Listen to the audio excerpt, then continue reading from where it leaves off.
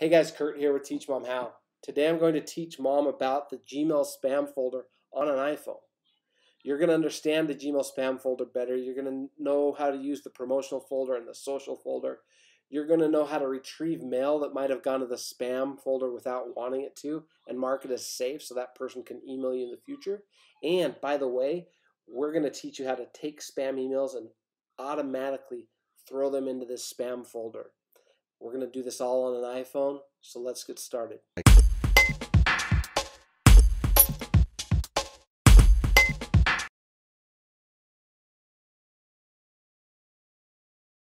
All right, Kurt here with Teach Mom How.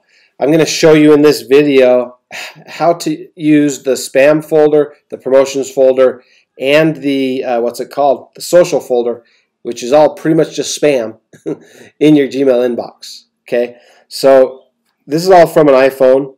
You can do this on an Android and you can also do this on the computer. But in this tutorial, I'm showing you how to do it on an iPhone.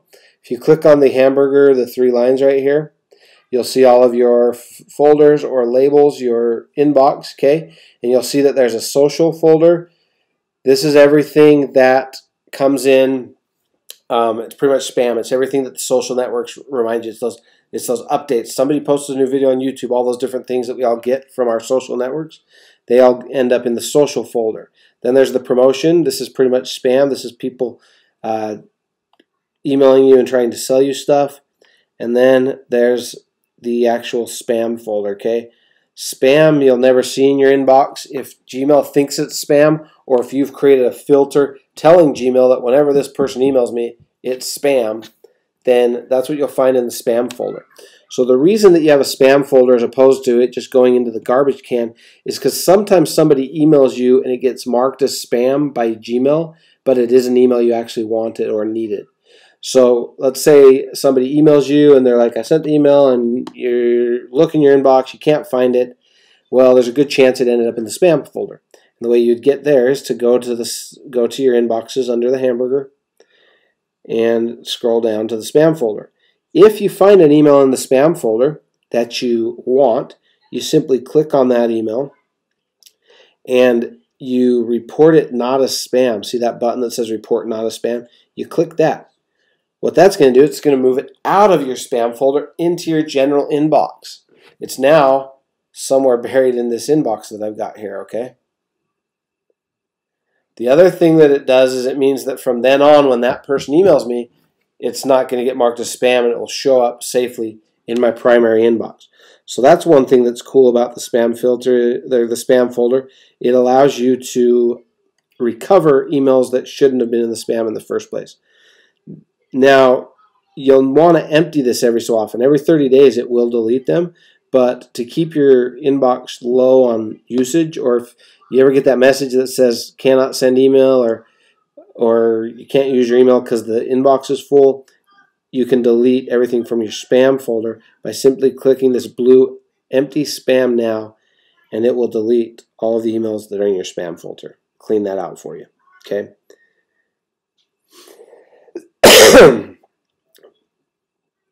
now there's also the social and promotions, which are pretty much spam as well. Same thing, you can go through these and look for emails that you might have missed, or you can just delete them all. Let me show you how to delete them one by one, and then I'll show you how to bulk delete them from your social folder on the iPhone. If you swipe right, it will automatically delete it. Now, I've got to point out, yours might not automatically delete it. If it doesn't, when you swipe right, if it doesn't give you that trash can on the left to delete it, you're going to want to change that in the settings. That's a setting that I set up by going to the hamburger, scrolling down to settings, and clicking on mail swipe actions right here where it says right swipe trash you click on that and that's where you can change what it does when you swipe right okay you can have archive trash mark as read snooze or move to I like I like, and I recommend you do the same, is that you set the right swipe to trash. So every time you swipe right, it throws it away. And you set the left swipe to move to, so that every time you swipe left, you can move it to the appropriate label or folder. So I just needed you to know that so that if you try to delete something by swiping right and it doesn't let you, that's why. Okay, now let me show you how to bulk delete everything from your spam folder or from your social folder in this case. Click on the hamburger again, go to your settings, and change the conversation list density, change that to compact, and click OK. Now you'll notice that you have checkboxes by each email. Select all of those checkboxes. Okay, and you can do this way faster, by the way, on a computer, but this is how you do it on an iPhone. You select all those, and then if I want to just delete them, I click this trash can at the top, and it deleted everything from my social folder. We now do the same thing for our promotions folder. Okay, go to the promotions. We can swipe right and delete things from the promotions folder, or we can bulk delete if we've got the list density setting set to compact. We can select everything, then click the trash can, and it deletes everything all at once. So that is pretty much everything you need to know about the spam folder, the social folder, and the promotions folder. Just remember that spam is anything that Gmail thinks is spam or you think is spam and you set up a filter for it to go there. So all you're ever going to do with the spam is if there's an email you need to recover that might have ended up there, you're going to go look for that email and mark it as not spam. The only other thing you'll ever do with the spam is just empty it every once in a while if your if your inbox gets full, okay? Then social and promotions to keep your inbox clean. You're going to want to delete those every so often because they're pretty much spam. And same thing, you can move emails out of those folders into a label that you actually would pay attention to it in if it's something that is important, if it is an email that you want. I hope that helps. Now click and watch the rest of these videos on Gmail.